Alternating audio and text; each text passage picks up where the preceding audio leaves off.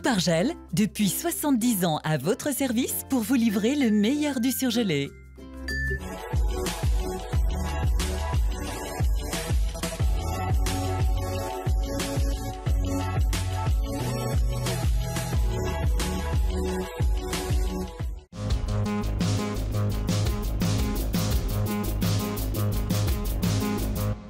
Les explications de la ville de Lyon sur sa décision d'installer finalement un écran géant place Bellecour dimanche.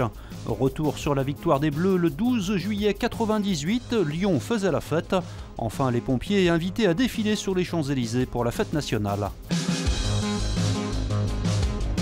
C'était d'abord non au motif du coût et de la sécurité, finalement c'est oui par pragmatisme. La ville a annoncé hier soir qu'elle installerait bien un écran géant pour la finale France-Croatie dimanche place Bellecour un rétropédalage que le maire justifie. C'est pas seulement pour faire euh, a posteriori un écran de projection euh, euh, du match Place Bellecour, c'est aussi quand vous voyez que dans tous les cas, les gens seraient venus au centre-ville. Enfin, ça se passe comme ça dans toutes les villes. À Paris, vous avez vu les Champs-Élysées.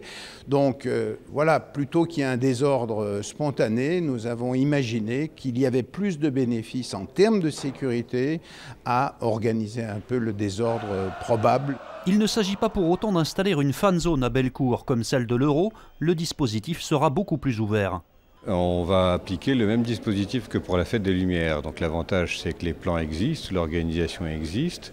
Il ne reste plus effectivement qu'à rassembler les effectifs de police qui auront déjà été euh, euh, mis à contribution la veille, à obtenir des moyens de renfort. Mais sinon, les arrêtés qui vont créer un périmètre de sécurité autour de la place Bellecour, ils existent, il suffit de changer la date. Pour l'instant, nous allons mobiliser 250 hommes et nous avons demandé des renforts à Paris. L'Olympique lyonnais avait initialement prévu un écran géant devant le grand stade dimanche dans un communiqué, le club annonce qu'il y renonce en raison de l'initiative de la ville.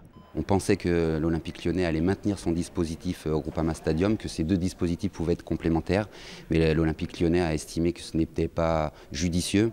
Je sais que les choses ne leur ont pas forcément euh, euh, fait plaisir, mais je pense que cette dimension qui nous a tous emportés hier euh, nécessitait que la ville de Lyon s'engage à une retransmission vidéo dimanche. Une retransmission estimée à 100 000 euros, le nom de Coca-Cola comme partenaire privé est avancé.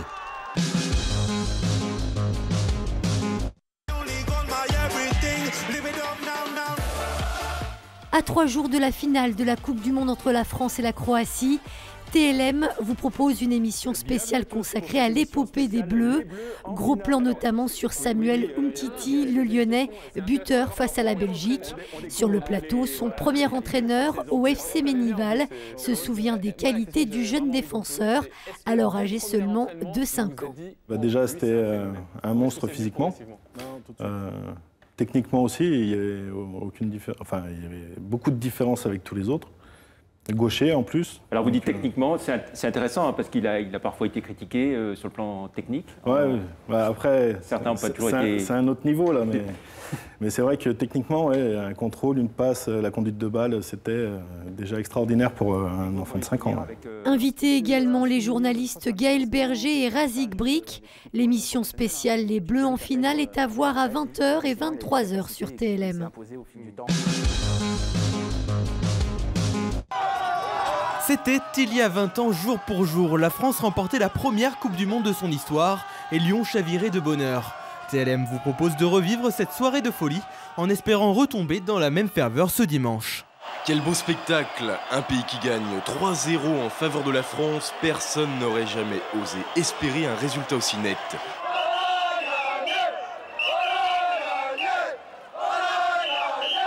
Coup de sifflet final et c'est toute une ville qui s'embrase. Plus de 40 000 supporters témoins d'une victoire historique qui ont exprimé leur bonheur dans les rues de Lyon. 3-0 pour la France Franchement, je l'avais annoncé, mais c'est grâce à qui? C'est grâce à eux, là, regardez bien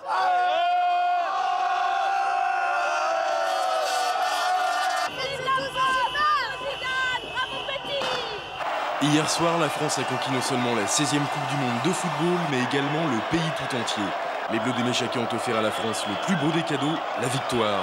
Une équipe de gagnants que personne n'est prêt d'oublier, eux, les derniers champions du monde du siècle.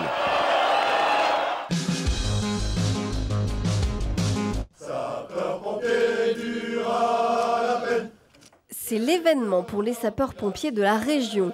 Ils sont 87 à participer cette année au défilé du 14 juillet à Paris, un bataillon d'Auvergne-Rhône-Alpes qui représentera donc l'ensemble des soldats du feu du pays. C'est une fierté de représenter d'abord tous les sapeurs-pompiers de France et ensuite de défiler sur les Champs-Élysées devant la France entière. Donc c'est vraiment un honneur que nous ressentons de manière toute particulière.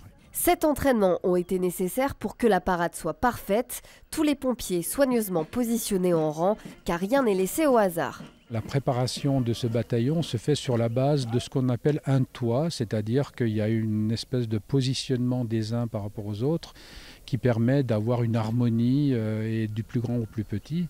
Donc il y a ce critère-là, puis après il y a un critère euh, de grade. Et pour ces hommes et femmes habitués à secourir ou combattre les flammes, il faut notamment apprendre à marcher au pas. Gauche, gauche, gauche, attention à l'alignement. J'ai fait mon service militaire, donc euh, c'est comme le vélo, ça s'oublie pas. Donc voilà, c'est très, ça revient très vite et puis non, un peu de concentration et puis ça, ça se fait. Je pense que c'est un rythme à prendre, mais que c'est tout à fait euh, euh, possible et, euh, et, on y arrive hein, tous ensemble avec courage, dévouement et fraternité, on y arrive. Cela fait sept ans que le corps des pompiers n'avait pas été représenté par un bataillon de la région au défilé parisien du 14 juillet.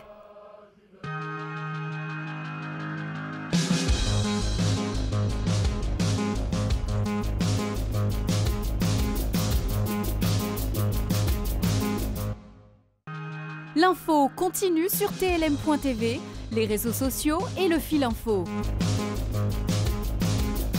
La météo avec